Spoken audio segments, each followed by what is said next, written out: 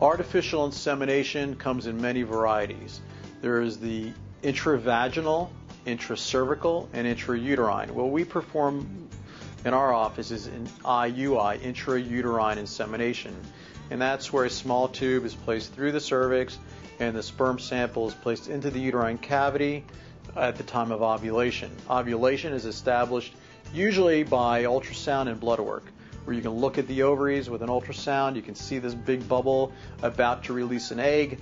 Usually we trigger the release of the egg with a shot of HCG hormone, which makes the egg come out the next day, and that way we know we're timing things correctly. If the female cannot um, come in to be monitored. She can use an ovulation kit at home. They're called LH kits or luteinizing hormone kits. And those kits turn positive the day before the egg is released. So we use both of them sometimes.